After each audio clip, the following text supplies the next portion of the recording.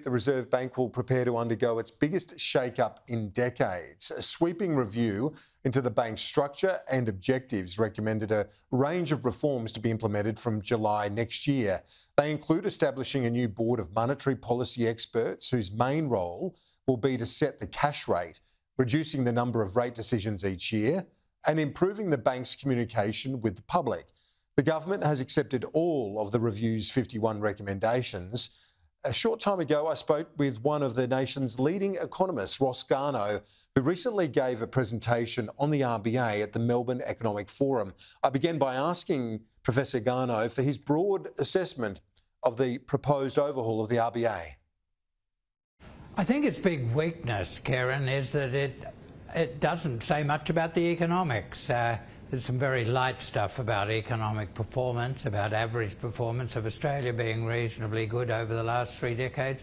But uh, compared with our own history and compared with other developed countries, the performance has been abysmal over the last decade. And uh, I think the review should have started with a realistic assessment uh, of how the economy is going and the contribution of monetary policy to that. The biggest mistake is that from 2013 to 2019, uh, what I call the dog days uh, uh, of economic performance, uh, uh, we kept monetary policy too tight.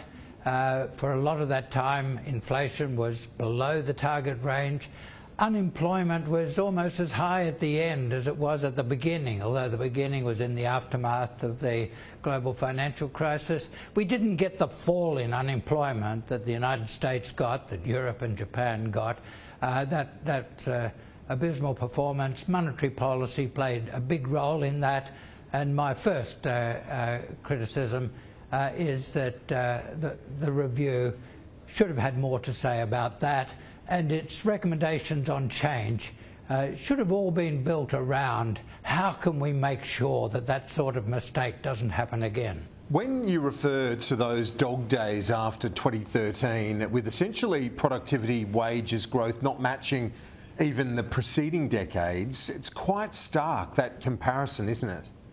Yes, uh, in, in the 90s, uh, on the back of the reforms of the 80s and early 90s, we had uh, the, the highest productivity growth, total factor productivity in the uh, developed world.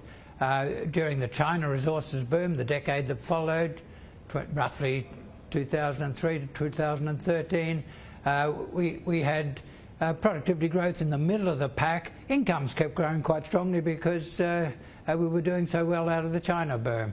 and then in the last decade, we've been right at the bottom of the pack for productivity growth very, performing very badly uh, on unemployment. Uh, and uh, the pandemic uh, uh, created some complications that will take a while to work through. but the period before the pandemic was a bad one for the average Australian citizen.